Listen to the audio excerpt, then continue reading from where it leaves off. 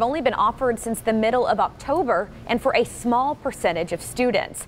LEX 18's Claire Kopsky joins us now with more in this coronavirus coverage. Claire and Chris, good morning. The Fayette County School District is citing the possibility of further spread of COVID 19 over the Thanksgiving holiday as a reason that targeted services will be coming to a close one week from today. It's been an uncertain year for Fayette County students as a plan for moving students back into the classroom took months for the district to compile. And some families still say they are dissatisfied with the lack of options, including the lack of an in person option for the wider student base. On October 19th, the district did begin to offer targeted services for a few thousand students, in which they went inside their school building for a couple of hours a week to meet with teachers in person.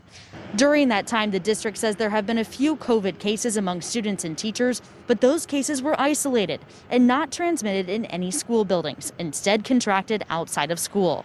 With COVID 19 cases climbing and Thanksgiving break approaching, district officials say that they thought it would be best to put a stop to the program.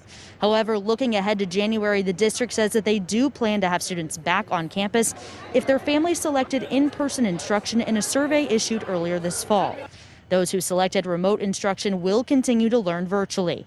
But the district says if the county is in the red zone as January approaches, the semester will begin online. The letter from the district says that if the county is in the green, yellow, or orange zones when it comes to COVID 19 cases, that they will offer an in person option for more students than just targeted learning students. This offering a glimmer of hope for some families who have been desperate for an in person option. Claire and Chris, back to you.